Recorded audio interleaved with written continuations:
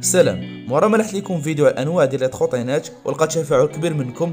اليوم في هذا الفيديو غنهضر لكم على القانون الجديد اللي فطور الانجاز واللي كيمنع ال trottinettes électriques. donc الدراري شنو هو القانون الجديد وعلاش كيمنع ال trottinettes وشنو هو الحل المناسب وشكون اللي عطى هذا القرار هادشي كامل اللي نعرفو في هذا الفيديو.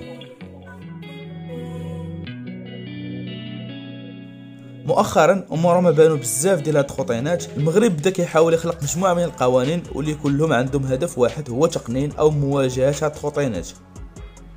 علاش المغرب منع هاد ال trottinettes؟ المغرب ماشي منعهم ولكن حط بعض القوانين واللي منهم الزام أي واحد عنده trottinette يكون عنده assurance ويدير ال casque فحال كاع الماطر حتى لهنا كلشي بعيد. ولكن المشكل هو الشركات ديال les assurances حتى وحدة ما قبلت تأمن هاد ال trottinettes بحيث قالت بلي هاد ال trottinettes ما عندهاش حتى شي معايير السلامة وهادشي باين بلي كاينة جهة خارجية هي مورا هاد ال plan. بالنسبة للقانون اللي كيمنع ال trottinettes هو قانون كيف مادة 65 وكيمنع حتى إلى هزيتها فوق ظهرك.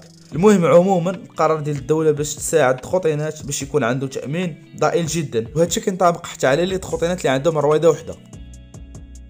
شنو هو الحل المناسب؟